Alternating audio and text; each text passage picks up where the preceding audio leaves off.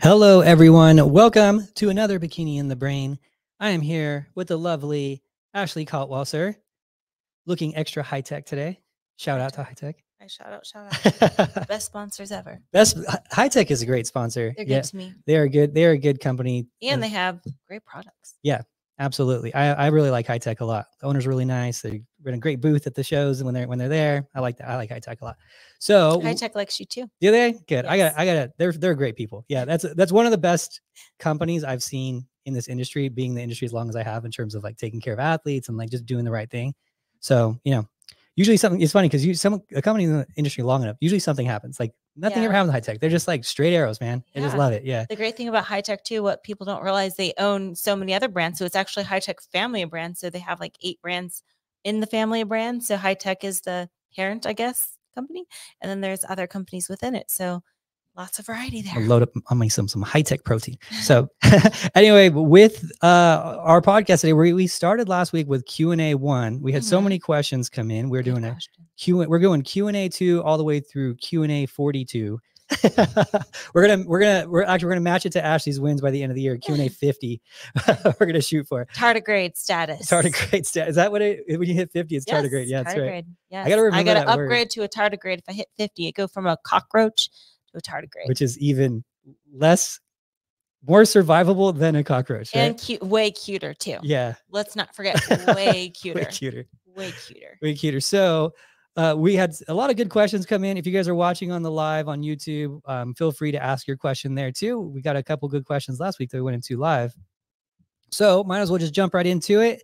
We have a question from Joan, and her question is biggest change in training to achieve that insane muscle growth. I'm pretty sure they're talking about you, Ashley. I don't know, man. They might be talking about you. My Who arm knows shrunk. these days? this one struck.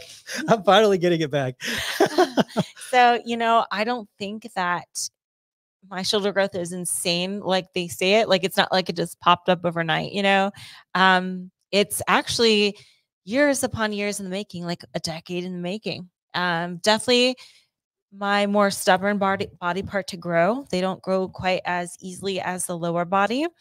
Um, but I will say I was consistent and persistent and over time accumulated that muscle. Now, there was a time probably starting 2020 when my feedback started to become we need more upper body because in bikini beforehand it wasn't like a big deal i didn't really have shoulders uh, before then i don't think and it wasn't like a big deal. I never really heard that as part of my feedback really. Um, but over time i started to hear that more and more like we need more shoulder we need more upper body. So as the sport evolves you can't have holes in your physique. So as i started to hear that more i started to really focus my attention on the shoulders give it an extra day of training work with the stim machine work with sam um, but yeah it wasn't anything in particular i would say just dedicating more time to it Well, there you go, guys. Yeah, and that's I think that's really it. You know, I think a lot of times people are in bikini might have unrealistic expectations on how long it'll take to get a pro level bikini physique these days. It's not going to be quick. It is not going to be quick. So, um, think about it in con. It's funny is that there was an old judge in Colorado, um, Dave Fuji, who's a he's an awesome NPC judge, and he was he was given this kind of pre-show speech. You know, they always like talk to the new people uh, the pre-show speech. He's like, it's he's like, I love. It was like years ago though. He was like, I love bikini. You know, because like I'll talk to a bikini competitor. I'm like, how long you been working out? And they'll be like, oh, six months, a year. You know, that was like twenty, like probably twenty, like thirteen, something like that. So then I'll talk to a, a bodybuilder and I'm like, oh, how long have you? How long has it been since you've been working out? You're, you're doing your first show, and he'll be like, oh, it's been 15 years. you know, like like the difference used to be, you know, that's how it used to be. You'd get someone who was uh, a gymnast or something like that, and um, or even just you know, you'd get a lot of even like cheerleader type sporting where it wasn't like weightlifting sports, running sports, whatever, and they'd be on stage within four or six months. It wasn't wasn't that crazy. You just had to have good legs, good good tone. You weren't crazy shredded, a little bit of muscle, but it wasn't anything past the normal sport person, right? Someone who played sports. But now it's a lot different. You know, the amount of muscle they have now is kind of similar to what they had in figure years back. So now, as the sports evolved, you're looking at a, a physique to get to that pro level. A lot of you girls are looking at, you know, a five year physique for some of you. So some of you, it's going to be three and maybe, maybe a little bit less. So just put, I think, time frame on it being, you know, realistic expectation. getting to the local level, yeah, you could probably do that in a year, year and a half. But we're talking pro level, um, three years, five years. That's kind of like the standard. And and to be a good pro, it's like probably like closer to that five year marker. Ashley's got a lot of, of uh, training years under her on her belt because she did sports and stuff her whole life too. So Mhm. that's another advantage to get that kind of muscle density. You know, that's going to come with time and years of of weights. So absolutely. yeah. so yeah, so be patient, ladies. Be patient because this sport is going to take a while. Take a take a note from the bodybuilders who didn't get on stage for 15 years. You know. Mm.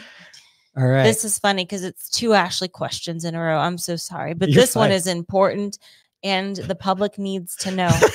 so you got whoever sent this one has been lifting or lifting. Well, of course they've been lifting. I think they're flexing in their profile picture. But they've been listening to this podcast because they know that's my thing. Starburst packets, the gallon, the big gallon packs you can get 'em at Walmart, dump it in your gallon. Tastes so good. I add salt with it and I add extra sweetener. So good. Versus my Wrigley's five, either spearmint or cobalt blue. That's my ish.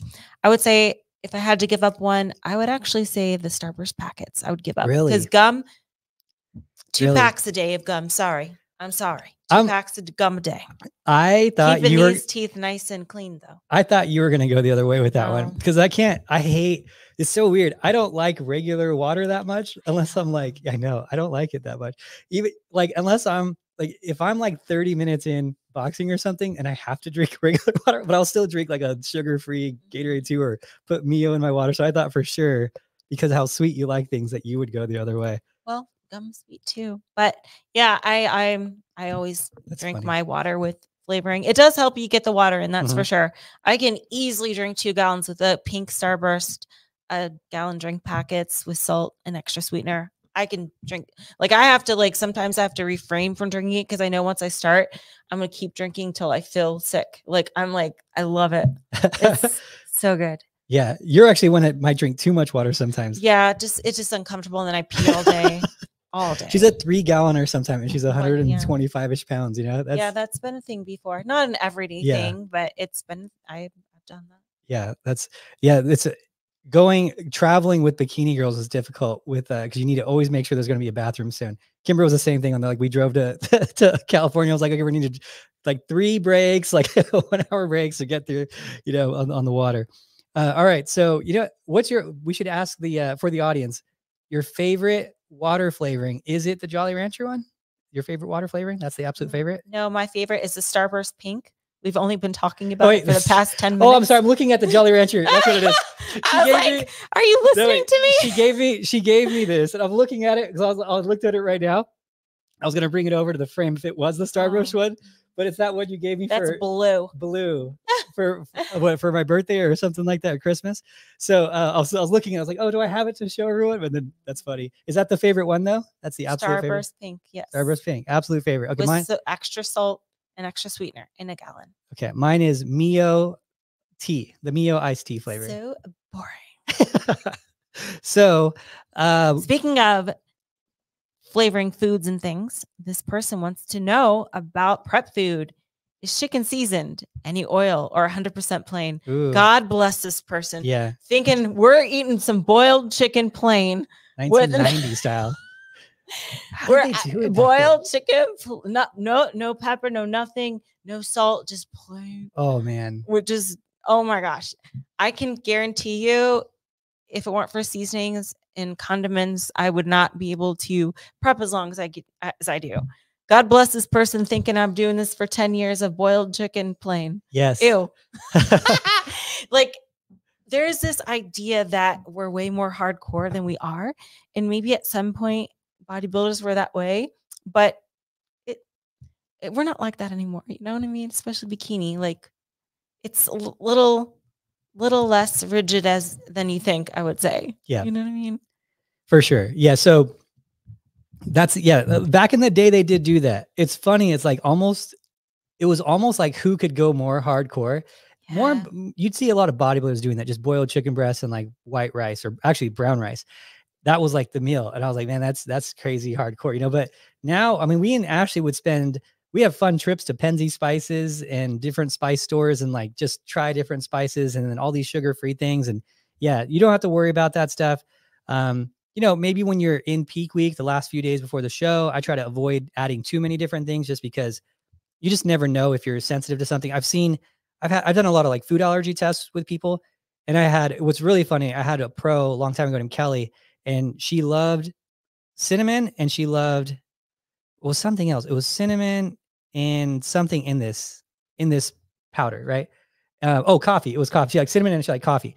And then um, it was like peak week. She's like, "Oh, I'm so happy I found this this cinnamon whatever coffee flavoring for peak week because like I don't know how I was gonna get through peak week." And then her her actually food sensitivity test came back the same day because we're gonna cut all the different foods for peak week just to try to bring her waistline in tighter. And then the two of them that popped up were coffee and cinnamon. It was like it was like an hour later, and she's like, "Well, that's that's lasted quick." And I was like, "I am so sorry. I didn't even know someone could be sensitive to cinnamon and coffee. Like I didn't even know that was a thing. Right. And it was, uh, but apparently, you know, uh, a lot of times what happens with food sensitivities is like the more you have them, it seems like the more sensitive you kind of get on these on these tests. And when you're getting ready for you know pro shows, you you kind of look at whatever you might be sensitive to, and you just you take all these extra precautions. Probably wouldn't change your physique much at all, like noticeably, but it's just one of those things in peak week. You're like, okay, let's just eliminate any possibility of all these crazy things. I've seen sensitivity to onion and um, certain types of peppers. Like I've seen all these weird sensitivities. So uh, chili powder was what it was. Mm-hmm. So yeah, so um, yeah, there you go. So yeah, but the rest of the time, eat whatever, eat whatever. It's fine as long as it's not adding a bunch of calories. Go for it. Mm-hmm. Next, we have a nice sciency question for Adam here. How important is the breakdown of protein in daily meals to avoid catabolism? Well, it is important, but it's not as important as you're probably thinking. So, protein itself is you got to understand it's not going to be it's not a desirable thing for the body to break down muscle like we think it is. I think I think a lot of times bodybuilders think there's like like if you looked at a cup and you filled it with water that if you're not filling it constantly with a couple drops of water that cup's just going to spill out. You're going to lose all your protein and lose all your gains. Like that's not how muscle building works. That's not how how it works. You can you you know your your body's going to yeah um, take a little bit of amino acids out of the out of the muscle, but the most time it's doesn't really it's not desiring to lose muscle. The only time it's really desiring to lose muscle is if you're in these like big deficits. You're maybe not creating any stimulus to keep the muscle, and it's your body's burning so much energy unnecessarily that because you have extra muscle that you're not using that it's going to break it down because it's going to seem like it's unnecessary, you know, that type of thing. So it's not, it's a little bit harder than people think to lose muscle. Some of you are out there and you're kind of going a little crazy, eating protein every two hours. And like when the timer goes down to two hours, you're like, I gotta, I gotta eat something or else I'm going to start losing my gains. Like it's, it really isn't that way. There's been a lot of, a lot of research on this. You can look it up. There's tons of research on it, on, you know, how muscle breaks down and how long it's going to take to break down and how, um, how many meals you can eat. There was studies. There was one that showed um, the differences of like even at, at this is like a fat loss more so, but it was how much fat you would lose at eating at different meals throughout the day. And there was one it was like 14 meals, six meals, and three meals. And the difference of fat loss was all like identical between the three. There was like actually slightly better on the three. And then they took it one step further and went two, four, and six. And then it was actually very, very slightly better on the two, but it was pretty much identical. And it showed in that too that the muscle wasting in between them was very similar too. It was like almost none. So it's like it's it's not what people think it is. Just make sure you're getting in the amount of protein you need per day. And that could be split up, you know, two meals, three meals. I I try to stick to at least three meals in a post workout is what my minimum kind of is for my clients. So I'll say, you know, do a three meal and then your post workout. And if you do that, you should be fine. Um, if you have to go less than that, maybe you're a nurse and you can only do, you know, your morning and then you work a 12 hour shift, then you do your workout, post workout, and one more meal. That's fine too. You should be fine with that. Um, but there's a lot of more re- like recent research studies on protein. We used to think, oh, you can only take in so much protein at a time. Like you'd only take in, let's say, 30 grams of protein at one time. So you need to space them out. But it's actually showing like the more space you have in between meals, the more you can take in at one time, kind of thing. So yeah, maybe you could only do one meal a day, but you do 150 grams of protein, and maybe that's the same as eating 150 gram of protein split throughout the day in terms of muscle wasting. It's probably similar. I don't know that. I'm just throwing that one on top of my head. Um, but from what I've seen, it seems like that would be logically be close to, to the same based on what the research is coming out as. So I wouldn't worry too much about it. Eat when it's comfortable for you to eat. Eat when you know you're you're kind of used to eating, um, and don't stress yourself out. So yeah, there you go. Ashley combines meals sometimes. Yeah, yeah. Um, yeah. I tell athletes, hey, if you're if you're set up on six meals per day and you're out on a you know a hike or you're with your family at some event or you want to eat a bigger meal with your family, combine two meals, combine three of them. It's not going to hurt you. So there you go. Mhm. Let's see if we have any good questions Oh, yeah. in our in our uh, YouTube here. Getting some questions, and thank you guys so much for the the questions. Um, oh, this is a. T- uh, let me see here. Let's see here. Here's a question that came in. Let me good Ashley question. Mhm. Kayla, thank you for your question. Any tips for getting off tan faster between shows? I like to use Liquid Sunrays product called Erase It. So they make a special product to get the tan off. Um, but just scrubbing every day is going to help that as well. So getting the tan off, um, you know, I'm I'm thinking it's probably we want it just to come off more um evenly, right? Because the tan's going to fade the more you shower, obviously. But to make sure it comes off evenly and not all splotchy and gross, definitely a scrub every day. Use your Erase It product, and you should be good to go. There you go. And moisturize, of course. So here is a, a good question because this one's kind of controversial. Alexander Armstead asks, "Why do you need to cut artificial sweeteners or stevia during peak week?"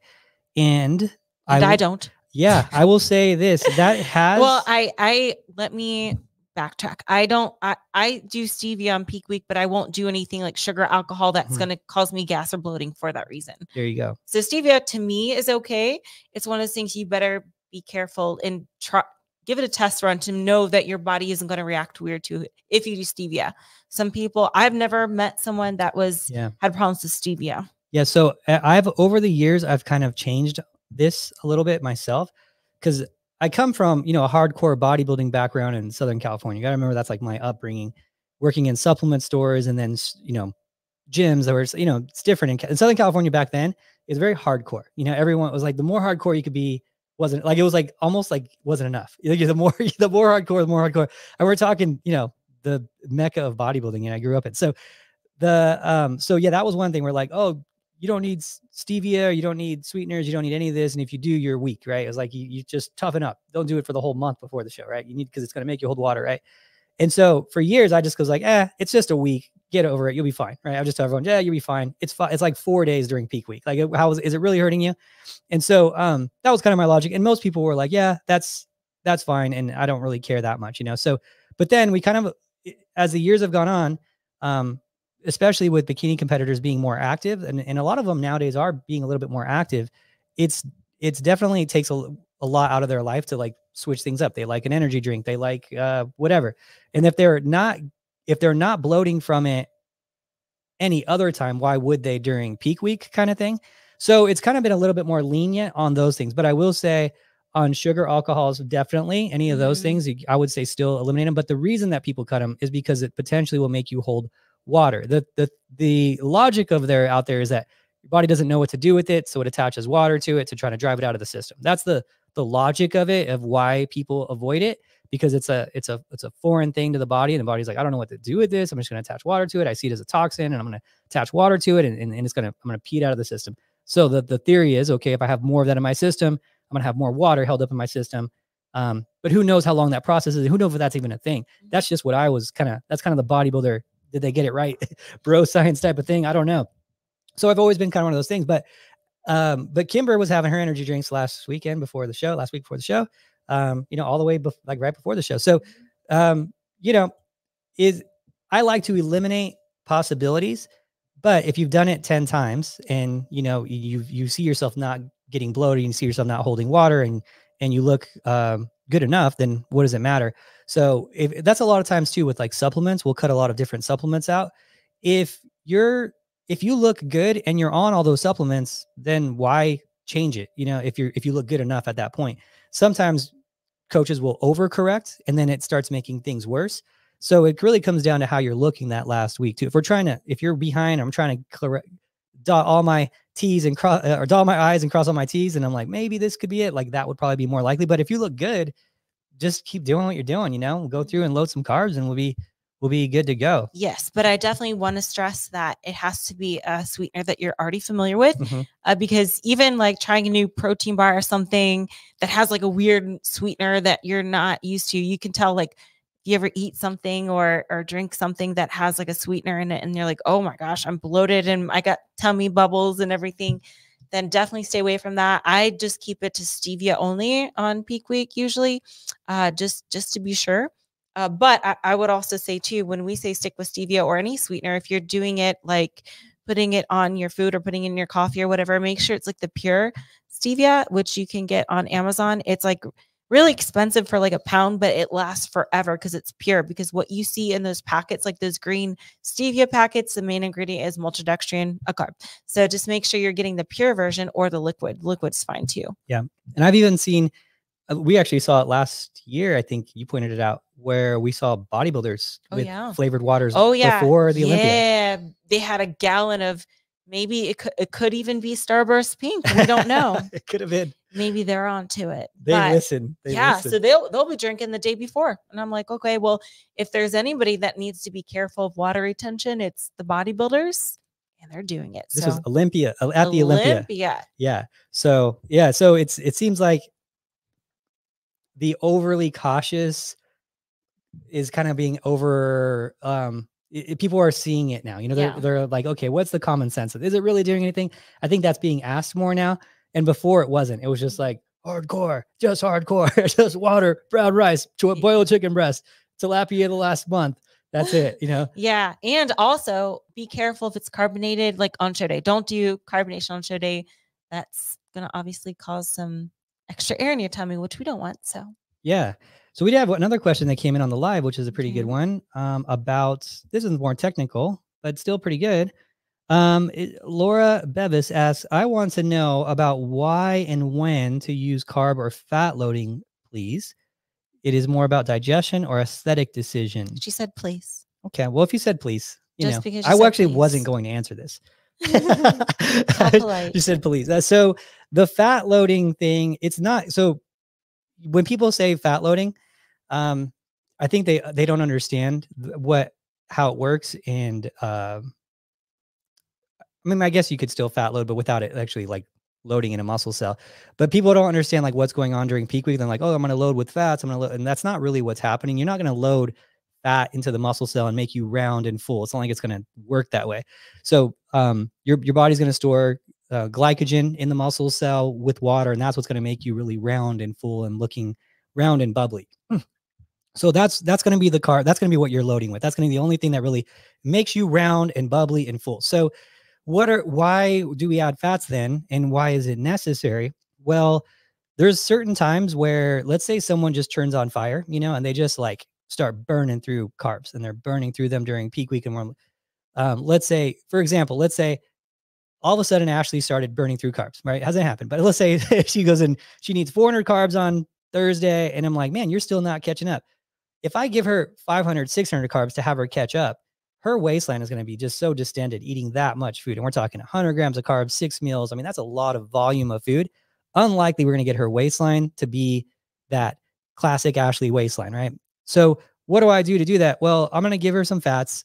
It's very low volume um, in terms of the the of the size of it, right? Especially if we add in the oils to fats, like in um, in rice and whatnot. And what's going to happen is I can still keep her at only 400 carbs or maybe even lower it to 300 carbs. And her body will have that fat to use as energy and it'll use that as energy versus burning through the carbs as energy. And it'll hopefully, in theory, hopefully use that fat as the primary source of energy because it's easier for the body to do that. And then um, what it's going to happen is those carbs are going to be reserved to be stored in the muscle and stored in the muscle cells. So we're trying to give your body a source to get through and store the carbs the best way, um, the best way possible. So um, it's not a loading thing. You're not loading fats into your you know into your muscle cells. It's just a preventative thing and to keep the volume down lower. And some of these, some especially some of these bikini athletes, you know, you remember you got to get them. Sometimes they're like at 1,100 calories. If all of a sudden they turn on fire, they're not even capable of eating 3,000 calories worth of carbs. Like it's just it's just too much. You don't want them feeling sick and being so far out of their norm before the show. So that's that's the reasoning for it. It's more so of just a calorie thing. Mm-hmm. Any more Let's go back to our usual questions now, and you guys can continue to ask those, and we'll check back on those frequently. Okay. What's the difference between NPC and IFBB posing routine? the length, the time, and the walk back. A lot of IFBB competitors walk to the back, and there really isn't time limits for the pros usually, unless it's something like the Arnold or the Olympia. There's a time limit, but you'll see pro routines are usually about a minute. Uh, is that is that a fair statement? In a minute, Yeah. and then NPC sometimes they'll cut you guys off at 20 or 30 seconds. Yeah. It depends on some of these shows are really fast. Yeah, Like if it's a big show, I've I've never seen it happen where they actually stuck to it, but I've seen them say 15 seconds. And I'm like, that's really quick. yeah. But you know, you gotta remember that's when shows were really, really big. And then I just don't I see them tell them that. Maybe they don't maybe they don't really like think about the time, but it's like the expediters say, hey, you got 15 seconds. Um, so just be prepared if you get to these really big shows, maybe a national show or just a big a show turns up where it's a one day show and it's a thousand people total entered, like you're probably gonna have to go a little bit faster. But I'd say, yeah, for the most part, you got it, you got it right. 2030 um, is pretty, pretty realistic. So Mhm. but yeah, you could get asked to just hit your front pose, back pose, and walk off. Um, that is it is the just so just be prepared for that. It could happen. absolutely. Okay. So next question comes in, and yeah, I'll, I'll dive into this question Dive it in. because I think it's important. It says, "Are are implants really necessary to do well in the sport?" Does it- No. yeah. No, no, no, no, no, no, no. So you can fake it easily with pillow stuffing, Mhm. and it's called polyfill. You can get it at the craft store. Uh, but you can put pads in your bikini top, obviously. And if the pads are still not enough projection, just use polyfill. I I used to do that too. So, you know, there's ways around it. And I would say sometimes if you get too big of implants, they can actually hurt. Yeah. And it's hard for the that to be your actual feedback to be like your chest is too big but you can see it as like a spectator someone that looks really off balance like because they're so top heavy that like everything else looks small so you don't want to be too top heavy and i would also say too um a lot of girls get implants when they're lean but then when they become a normal person body fat percentage it's like way too much it is way too much because they're used they're they're seeing themselves stage lean but you're not always going to be stage lean and where do women usually put on fat? It's usually there, and it's also glutes, right, or thighs. But yeah, you don't need you don't need. There's ways around it, and they're not really looking at your boobs, honestly, but they are looking at your shape, like your shape. I get you want to be symmetrical, so just use poly- polyfill. Yeah, stuff. and that's something that actually well, I was in a seminar recently, and Sandy even addressed it. Someone asked that question too, and she said, "I've never once judged anyone differently for having implants or not having implants." She's like that. So it was like she was very clear about that. She's like, Mhm. "It doesn't it, it doesn't matter." So, um, so there you go, and that's from you know obviously someone who judges the most out of out of all the judges. So yeah, so there you go. All right. Um, at- oh, this is a hard question. yeah, this is it. I've had this one. conversation. I've had this conversation. Um, at what point do you tell an athlete that competing may not be for them? That's a that's a tough, tough question. You want me to jump into that one? Should I take it? Jump yeah. All right. So um I would say at the point where they've lost the fun of it, they've lost the passion of it, and it becomes more of a task than it was a, like a fun journey for them. Where when it becomes like something they're they're hating to do it and they're just like going through the motions because they kind of feel like they have to because they committed. I will tell them, hey, you know what? Take some time off and, and find the joy in this again because it should be something that it should never be like a job. It's always going to be hard, but it shouldn't be like, oh, I got to do another show. I got to, I can't believe I got to eat this chicken and all these things. You know, it should be like a, a, a privilege and a, a fun thing and your daily task. And yeah, it's going to be hard. You're gonna have times where you want to maybe where it's it's too hard. You might want to quit here and there. But when you're just like in that where you're not giving your best, um, you really have to look at okay, do I just need time off because I'm not I'm not going to give my best? And I've had to have this conversation with with regular athletes, even pro athletes, and I'm like, hey, like it's too tough. Like it's not. This is not a sport where you can kind of do it. You know, you can't play competing. You know, it's not like oh, I'm just going to go and I'm going to play some basketball. I'm, I'm not my best today. I'm just going to play some basketball. I'll just pass a little more or whatever. You can't play competing.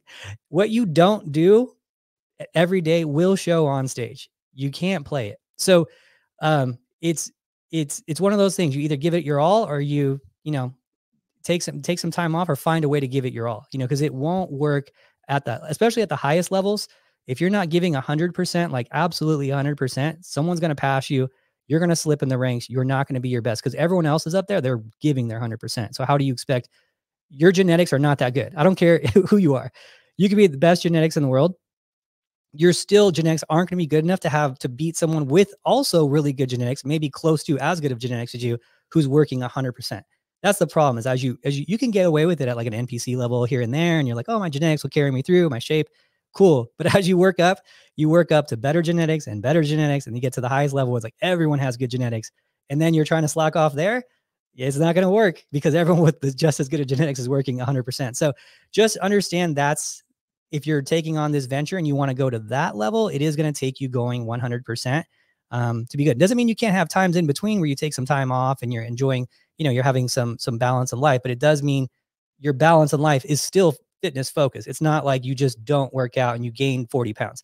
It's like I'm still a competitor. I still need to be fitness based. I can be a little looser, but um, you know, if you can't do that, that's kind of when I'm gonna have those conversations and be like, hey, you're uh you're is, are you sure you still love this like are you sure this is for you do you need some time off what's going on so that's if you're asking that's a, a good question because you're asking yourself that you got to ask ask yourself what's my why um, do i really want to do this and why do i want to do this and if you're having a hard time staying motivated maybe now's the time for you to take a little break because you're you're not going to get the outcome you want with a with a 90% um like a 90% effort this is something i want you to remember you can't play competing not not a sport like that um, you know, if I I could play hockey growing up, I have a little injury, no problem. I'm just not going to go into the net as hard. I'm going to pass a little more to my friend. I can, I can I can get away with 90%, you know, but not here. It just doesn't work. So absolutely. okay. Any you want anything on that? You should. You have any? No, I th- I was just about to say the same thing, and then also, of course, health issues. Uh, if this sport is affecting your health negatively in any way, because mm, yeah. some people do have health issues, then I would say it's probably not for you. You know, we don't, the goal here with competing isn't to become unhealthier at the end of it. It's, you know, to maintain your health at least. But yeah, some people have conditions and just can't work around it. Yeah, fighting that. I do see that that one does suck. I've seen that too. And someone wants it really, really bad and their body just doesn't do it for them, you know, yeah. and you're just like, you know, or some even some eating disorders, I'd say this is it's probably not the best. You need to find because some people seek the sport to correct their eating disorder because they have um, a schedule, uh, some you know, they have a um, not a schedule, it's a plan basically. Yeah. They feel like that might help them, but sometimes you know, send those people to somebody that can help therapy wise first. I would also say, you know, we don't we're not here to fix eating disorders. It's probably not the best mindset to have coming right in. There's a step in between that you need to fix mentally first before you think about competing. Yeah, that's an important one too, especially yeah. yeah it's, it, and it's um, you know I have found that the sport. I think that this sport it can it, help. Yeah, it can help. Um, but they they need a bridge in between. Yeah, you need to get be corrected fix first. Your mental first before you come. I've seen um, the the some of the times where it helps the most is when someone's eating too little yeah. I do see oh, that yeah, that yeah. this sport helping like that's an easier segue to get in than than rebounding and eating too much and kind of going through that. That mm-hmm. this sport I don't think helps that much with that at all. But the eating less sometimes it can help um, because you have to. That I've I've had a couple clients that had um, like eating disorders where they're eating too little. They went through the the the psychological part of it first, though, too. And then they went into the sport, and then they were like, "Yeah, this helps me because I'm able to eat. I have to eat more in order to have muscle." Mm-hmm. So that was the one, some of the ones where it would would be helpful. But the the other end of it, where they're having like binging and stuff, almost all the time, if they didn't do anything on the mental side after the show, it just went really bad, you know. And so, yeah, that's something that I think is a good point to bring up too, because that is, uh, if you're having binging, if you're you know doing that binge disorder, um, post show is going to be pretty difficult for you when your plan is not there. And if you're, and I think another thing too is people need to recognize when they have that. You know, if you're someone who is, you know, rapidly gaining weight, like in your after shows and you're going, you know, we, these people we talk about 30, 40, 50 pounds post show and it's repeating, repeating, you might want to like ask yourself and like talk to someone and be like, hey, do I, maybe do I, do I actually have an issue with this? Like, is that something I need to at least look at? And I think that it, if it's going that high, it's something you might want to at least like inquire about and, and, and see if you can get that taken care of, you know, like worked on. So there you go. All right. So good, good points on that, Ashley. Um, Fit by Ken's, how to tell if you are muscular enough to be a competitor as a first time competitor? It's another hard question to ask. It is. I would say having a coach that knows what they're looking at is a, a, a plus. But everyone's going to be a little different, right? Yeah. Um, I would say having at least a little bit of a cap on your shoulder, some sort of definition your midsection, uh, even a slight bit of tie-in, at, at least, at the very, very least. Um, but there is no telltale, like, oh yeah, you're for sure muscular enough now until you stand next to others that are about to compete as well, or have a coach that can look at you and let you know, hey, we're we're good, we're ready. Yeah. Mm, I, and then if you're really questioning it, there's posing seminars pretty much in every state nowadays. So go to a posing seminar, um, pose with a group of people. You know, if you feel like you're, you could, you can get in your bikini and, and pose next to people and you'll see people who are competing. Usually when there's a posing seminar, you'll have, you know, five of the people there competing in the next like month. You could look at yourself next to them and kind of like, okay, do I line up with them? Or am I way smaller? And if there's a, a coach there that's, you know, reputable, then you can ask them, how far am I away from competing? They'll be happy to answer that and give you some more clarity too. But I think that those are all good, good cues as well. And, um, but yeah, if you need to know for sure, go to a posing seminar and you should be going to posing seminars anyway. You know, you should be going to posing workshops and, and getting your practice in anyway. So mm. cool, cool. So you have a, this is pretty funny. Um, so looking at a couple of the uh, other of these lives still guys, but um, we're going to go into the next question. Um, are there co- any common mistakes first time competitors make on stage? Fit by Ken's again, asking some fire questions. Yeah, thanks, Fit by Ken's. yeah. So if we're thinking of like on stage, I think is a little different question than just in general, like competing uh, mistakes, if that makes sense. So if we're thinking of just on stage, I would say competitors will not look very confident, I guess. Uh, a little shaky, a little nervous, which is sometimes not a bad thing. It's okay to be a little nervous. That means you care, but not having the nerves under control. And it's one of those things that's hard to say, hey, stop being nervous. Yeah. It's not it's not that easy. So it's something that just happens over time. I also find that a lot of times the competitors take too long on stage um, because they're adding in all these these posing transitions that they saw someone do. That's a mistake I see where you just keep it simple and that way it's more fluid and you don't have as much to think about. But I would say, like, if we're looking at competing in general for first time competitors, I would say focusing too much on placing is the biggest one. So in your first show, everyone, listen, everyone wants to win. Okay. We're all there to win. We would all love to win, but only one person's going to win. So I think, especially in your first show, give yourself a little grace and don't focus so much on the placing, okay? Because like because guess what? You're going to make mistakes. It's your first show. You're going to look back and probably laugh at it and be like, "Why did I do that? That's silly." I know I did. I think we all did. We all look at our first show and be like, "What? What? I made I made 10 mistakes." You're yeah. going to make mistakes. No one's going to just enter their first show perfectly everything because even as a pro now, I don't have like perfect shows. There'll always be something I can do a little different, a little small mistake here and there. But you're going to have a lot of those as you're first getting started. And I think sometimes, you know, you feel the energy, you're like, yeah, I want to win. I want to win. I want to win. And then, you know, you enter the show, you compete, and you realize maybe you don't fall where you thought you would, you didn't win. that can oftentimes be very discouraging. Okay. So that doesn't just because you lost that show doesn't mean you're going to lose the others and then mm. the others. You kind of have to build up, right? And you have to get better. You have to learn from your mistakes. So I would say if you're focusing on just winning, you're taking the fun out of it on your first show. Um, because it's going to be difficult to do. And maybe you will win. Maybe you're a true novice that wins the overall at a show. Then you've just beat the odds. Congratulations. You that's icing on the cake. And I think we should all try to win and aspire to win, but just realize, especially in the beginning, it might take a few shows to find your rhythm, to find what works, to correct your mistakes, to learn from your mistakes. You know? Yeah, I think that's great. The, I will say too, just a couple of the other um, little things is just make sure that you are on time. On time, yes. absolutely.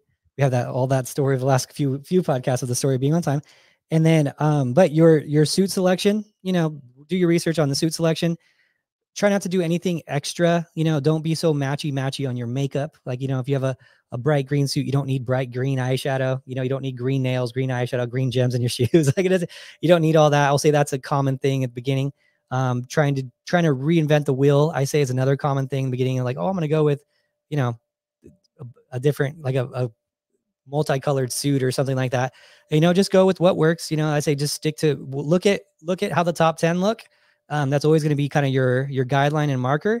And if you go with what they're doing, you're going to usually be safe in terms of your your hair, your suit, your your shoes, your jewelry selection. Try not to reinvent the wheel. Um, you know, it, it, there's a reason that the top 10 look the way they do. So I would I would say just use that as a as a guideline, as a map. And if your coaches out there too, that's always the guideline. Is like here's the map. They're telling me how to do it.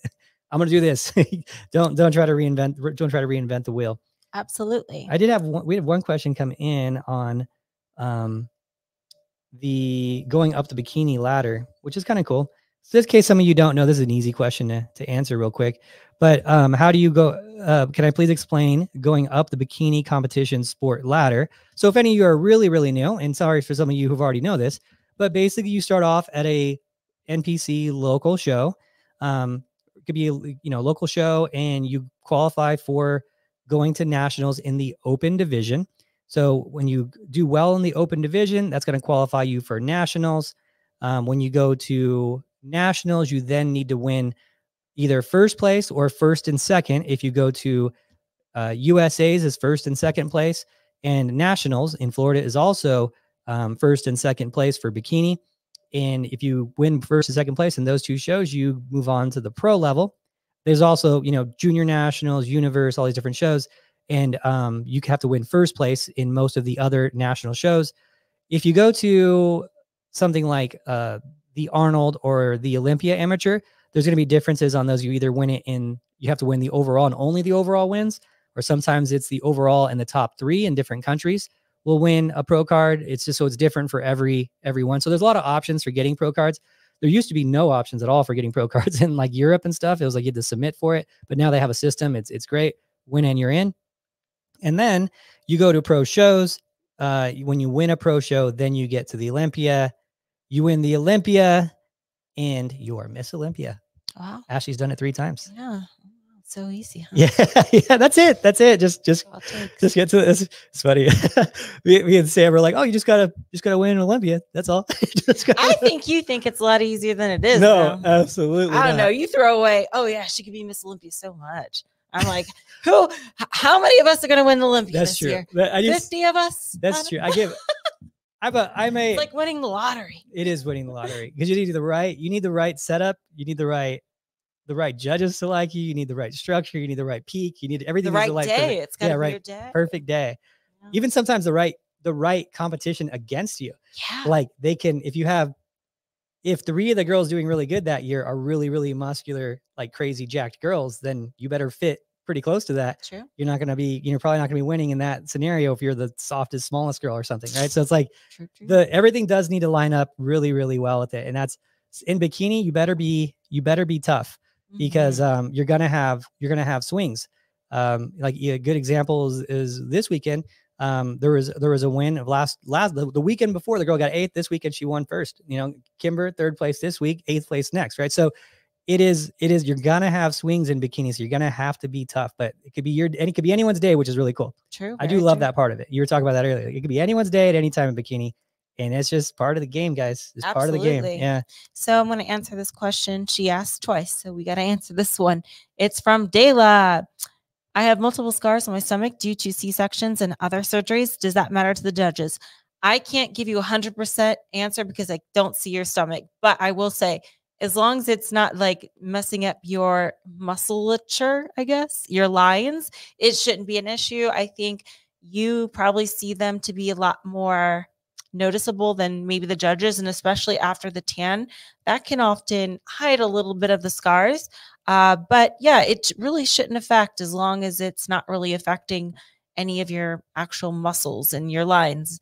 Uh, same thing with tattoos. People can have tattoos too as long as it doesn't like affect the muscle or how the muscle looks then it should be fine.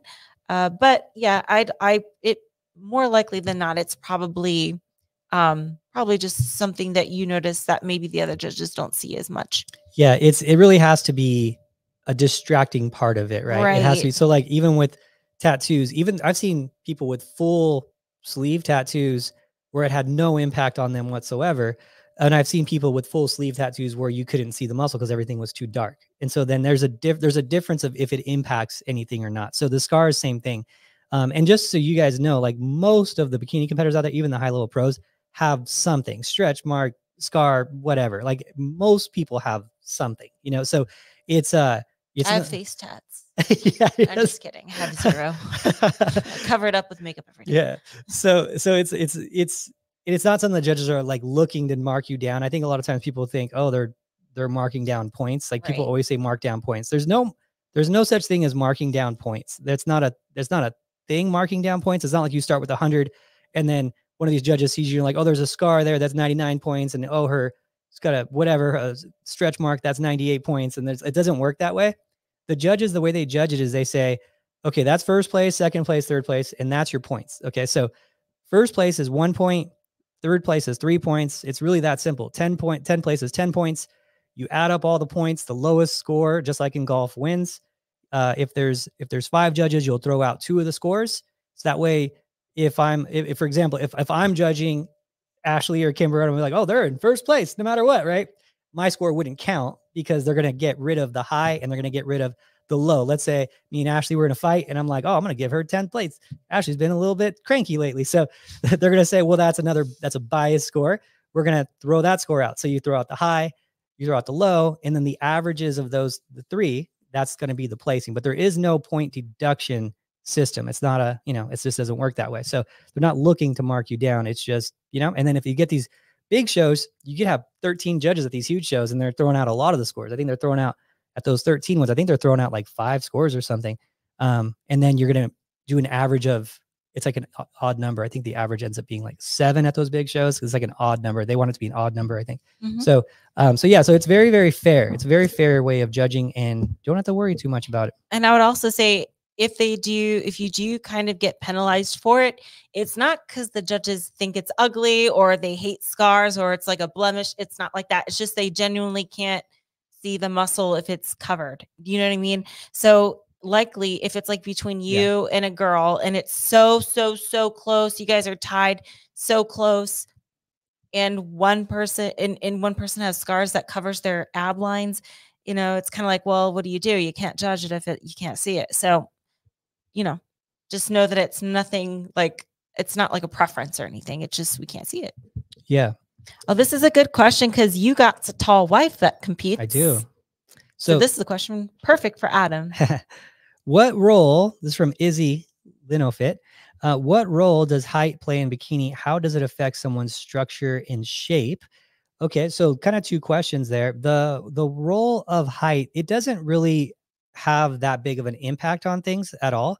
Um, it what your second question kind of answers the first. It really does come down to the structure and shape. You could be four foot ten and have perfect balance between that four foot ten inches, or you could be six feet tall and have perfect balance between that those those you know that six feet of inches. And if everything is balanced and perfect, then there really shouldn't be that big of a deal. Now, if you're taller, it's a lot more muscle to fill out generally to to be rounder and fuller because you still have to look the same. And you got to remember, it's not that um, you know five five is the absolute perfect, the perfect uh, size for a bikini. It's just that's the most common. So you're gonna get the most of girls on the stage or that.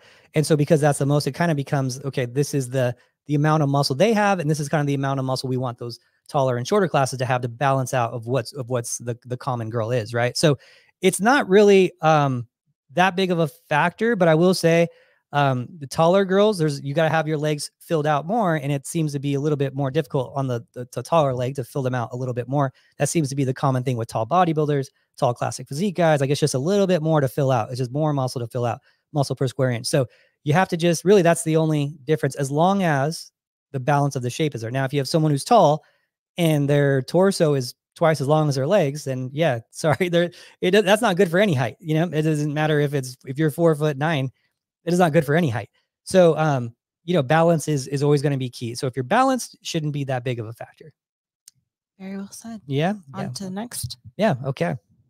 So uh, these are all, all the done with those ones now. No, we got one left because I remember we have one left. Oh, really? Well, I'll scroll through then. Well, I'm going to say it if it hasn't shown up, it might be um lost in there somewhere. Yeah, probably. But someone asked, besides the Arnold and the Olympia, what are my three favorite shows? And I Oh, a love this question. question. How do we miss That's a great question. And I, without a second thought, I, it, I already know the top three that come to my mind. Can you tell me? I already said the question. So can, can you guess? I'm gonna say, well, for sure, the Mile High. That's one of them. I think, I think you like Wasatch. I like Wasatch. Do you? No, I like Wasatch, but top three, Adam? I mean, I'm saying outside of the Arnold and Olympia. I mean, I'm not competing in there this year. Yeah, I mean, So, but- um, okay. What other shows do you really love? This is too easy. Well, I know for sure. The one I know for sure is Mile High. You, what shows do you also do? I didn't. Oh, what about? Okay, I'm gonna throw out is. No, that's it. That's. A, I wonder if there's. I'm thinking of the stress. of- I bet I- you, our viewers, are already like, Adam, you're an well, idiot. Come I'm on. thinking. I was thinking. I was like, well, Pittsburgh and New York are good shows, but those are those are I also didn't even hard do New. York last week. Those are year. stress. Those are high level, so If, they become if more. New York was my too. favorite show, wouldn't I have done them. it yes year last year? Yeah, I don't know the other two. Actually, I I know Oh my god, this do. is too easy. Can you- Japan Pro. Oh yeah, Oh god, I haven't already been that show. I haven't been like praising that show for the past that was since cool November. Show. That was a cool show. and then Vancouver. oh, Vancouver. Duh, I wouldn't have. I wouldn't have guessed Vancouver. So Um, or I wouldn't have guessed Japan, but Vancouver, I should have known. okay. Japan, we haven't been there I enough to said make that that like. favorite show. I just didn't think because many you wasn't. I'm thinking of repetitiveness, like shows you do every year. Favorite show. Okay, so listen. Here I have the reasons why these are my three favorite. For the memories, Mile High. That was my comeback show. That was our first show prepping together. It has so many memories. Team Elite Physique used to be based in Denver, Colorado. So every s- ever since the Mile High started back in 2018, right? Ever since 2018, I've competed there every year, except for one year they didn't have it because of COVID. But all the years that it was available, I competed there. So Mile High, shout out Jeff Taylor, you do a good mm. job. Yeah. Love the Mile High. Mm. All right. Number two, Japan Pro Show for the experience, for the atmosphere, for the environment, going somewhere new, somewhere that's so different from here. It's an experience, right? And as I've mentioned, they do it big with the production. I felt like I won the Olympia when I won Japan Pro. That's what I felt like because I felt like such a superstar. They really took care of the athletes. It seemed like such a big deal. The stage was the coolest stage I've ever been on, ever, That stage was crazy. ever. Yeah. And it's so hard now to compete here at like a local show. And I'm like, ah, but Japan, man, the stage. but yeah, so the experience for Japan Pro. And then lastly, Vancouver Pro for the people. The people. I love the Canadians, and the Canadians love us. The Canadians love us. I love the Canadians. They're the nicest people. This Why are you guys so nice to us? Why you guys like us so Canadians are much? just, ni- just Americans aren't as nice as Canadians. know, but. And so we go there. There's like I feel the such nice love in. Vancouver. Yeah. I feel the love in Vancouver. So, Vancouver Pro, Japan Pro, Mile High, and then honorable mention Sasquatch Pro for the I was gonna say that was my next. trophy. Yeah, for the trophy. So, Adam, you did a horrible job. I got one. got I one out of three. I should have. I would have I- never guessed Japan, but I Yeah, how would you not guess Japan? because we've only been to it. Was the time we, Twice? w- the time we went to it was that also the Yeah. ja- same Japan show? Mm-hmm. Okay, Yeah. because it was just different. It looked a lot different. So I was but like, I don't need to compete there frequently. Yeah. It's a I new was thing going I based on frequency, and you compete a lot. So I was like, what shows have we done like three times or more? That's what I was kind of thinking. But Mm, Vancouver, yeah. So that's why I didn't get. I'm so disappointed. This is the Japan Pro title too. This is how cool is that? that is cool. It's like it's like a championship belt. Looks like she won the WWE WrestleMania here. I got that and so much more. They Yeah. treat the athletes so well. This Japan Pro, cool- shout out. Such a cool belt too. Very cool. So those are my top three with an honorable mention of four. Do you have any favorites? Um, I will say Wow. I'll go up. Yeah, Mile High because it's. I miss. I do miss. Go. I miss Denver a lot. We had a really cool thing out there. Um, I miss it a lot. You know, it's a Denver's just a cool fitness spot. It really has got a, got a special place in my heart for sure. Armbrust Pro Gym, Dylan out there, just a lot of friends, a lot of old coaches that I've just grew up with, and like it's funny. Like the the environment now versus the environment then. It's just so Mhm. different for the coaches because when we were younger, um, you know, and we're all in our 20s and coaching in Denver, like all of us were like real feisty, you know, we were like, oh, I want to beat you. And, it wasn't friendly, it was just like real Mhm. feisty. It wasn't like, oh, you're my my bro and you also have skill and we'll just see whoever wins. Cool. You know, it was Mhm. like, I'm gonna beat you. And, and I like it was just an attitude. It was like a feisty, it was just different time, you know, and like we're all old now. So we're like laughing about how we used to be. So just the energy just growing up there and then just seeing everyone kind of grow and um, the athletes become coaches and the coaches get athletes to the Olympia. And it's like, it's just a nice, it's just fun because it used to be, people forget it wasn't really online before. It was all local, you know? So it's just a different, a different thing. So I love that show, especially. And Jeff Taylor always does a great job. Um, you know, I've- don't even know how long I've known that guy now, but um, that one I will say too, experience wise, um, Korea and Japan were still like some of my is my favorite experiences. I definitely want to go back, maybe Japan then this year.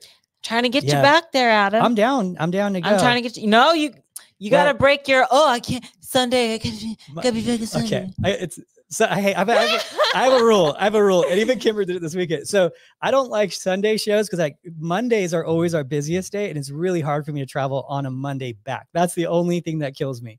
But these other these international shows, I do miss experiences, and I will say honorable mention, Hawaii. Hawaii. Yes, Okay. honorable mention for another location. Yeah, okay, Paradise. To- And everyone's nice. I kind of want to go back there like every year. yeah. Um, I went to the the the gym there too. Um, they treated me really well. We did a posing seminar. Well, I'll, if we go there again, I'm going to do another posing seminar uh, at that gym as well. I forget is it TY? Was it TY? I have to look it up. We did a posing seminar earlier. Um, they're awesome gym. It's like a. It wasn't an outdoor gym. It was an indoor gym, but it had garages on both sides, so it was like an outdoor. And it's Hawaii. Dude, the temperature is awesome, you know. And I'll say the people in Hawaii like the people in Hawaii make me want to live in Hawaii. Like that's like one of the places I'm like I could see myself retiring here. Like it's a little slower for what I'm used to in Vegas, you know. But the people were so it was like like Vancouver, but like more like family like there. Mhm. And one of the guys was like, "What do you need? I got you. I'll take you anywhere." So that, like they're like setting things up for me. Um, they said they'd bring me food. I'm like, I'm cool. I'm not a competitor. You know, I don't need to eat. Like, I'll bring you food, whatever. And I'm like, it's it's so it was so over the top nice. It was like it was so over the top nice. And I was like, how come everyone in Hawaii is so like like so nice like this? He's like, he's like, and he was like explaining his Hawaiian like tradition. He's like, it's because when you come to Hawaii, it's like we we think of you as a guest, like you're coming to our house, and we want to treat you like you're coming to our house. And it's like that's the that's the Hawaiian culture. And I'm like, man, this is just like love out there. Like it's just Mhm. which is crazy because all the all the boxers I run into that are from Hawaii, they're all really nice to me, like outside, but they're all killers in the ring. So you just don't think you think of this like tough culture where they're not going to be that nice because these guys are just monsters in the in the ring. And so I'm like, I was kind of expecting more of a chip on your shoulder attitude, but not at all. It was not at all. So anyway, that would be mine. But yeah, I mean, I do want to go back to Hawaii. I, really I like get that. to go back to Hawaii in uh, August. Oh, yeah. So I'll give you guys information on that coming soon. But I'm doing a seminar there in Hawaii. Nice, Yeah. nice. So But Hawaii Pro, Mhm. maybe this year we'll we'll we'll, we'll hope, maybe we'll see if we can if you line up with that and that lines up or not too. That that show is cool. I'm gonna I have to go to that show again. It's just a fun just a fun place to be, and it's like a free vacation too. I could write it off. Yeah, any any trip travel I can write off. So you know, it's a I could write off a couple of those days at least. So Mhm. so what about you guys? Any favorite shows we're, we're missing? So you know, throw it in the comments here.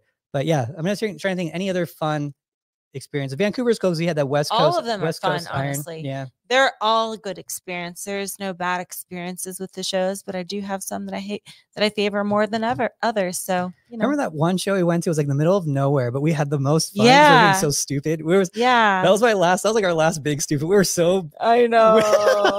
you had that wig and Oh you're just wearing it around town, Fabrizio. Fabrizio, That was so. I can't even. And I made that video would've- that I post every single Yeah. year for your birthday. So next month I gotta I got was- that that video ready to be was like posted. six. Tradition, yeah. as tradition goes, every year on Adam's birthday, I post the Fabrizio video. It was that this one. video will prevent Adam ever from running for office Yeah, if hundred percent. to. hundred percent. Um, Actually, nowadays they'd be like, "Oh, this guy's the one." so I, I'm really proud of that video, honestly, because I edited it myself. So you guys got to wait till May 13th. hey, hey, look at May you. 13th. Yeah, I know. I I'm terrible with dates. I'm not gonna That's I'm not gonna put the, the day or the year. I'm sorry. Not put the year. oh, that's okay. I'm but old. May 13th That's Adam's birthday. And Yep. you better believe a Fabrizio video will be dropping. And if it is May 13th, when you're listening to this, you better check my Instagram right now, Ashley K Fit, for this video. That was yeah. So even even the shows that weren't the most fun, we had the most like super the Yes. fun fun with like the, the area. That's actually where I got that banana shirt too. That same show. 'cause We went to the mall and I found this really cool banana shirt, and I wore that shirt for like years because it's just such a fun Don't get shirt. rid of it. I think I did. No, you didn't. I think I did. It got played out. Yeah, I try to because you know what it is. I try to buy new shirts for just for the podcast. Otherwise, I'm just wearing a black shirt. But for the podcast, I'll like try to mix it up and buy a podcast T-shirt. Mhm. And uh, I wore that one out. I want to wear it so many times, you know. Yes. So anyway, there you go. That was fun. that was fun. Oh my gosh. These Q and A's. Well, We'll thank you guys for watching. we'll do another Q and A. Uh, we'll do another Q&A next year, Sometime- Yeah. Sometime. Yeah. Just stay tuned for it sometime. But in the meantime, ask us some questions because sometimes questions become topics themselves. If it's a in-depth enough question, we can make a topic out of it. So topic suggestions, any other questions, leave them in the comment section. Thank you for watching, everyone. Yeah. Thank you guys. Talk to you later. Bye.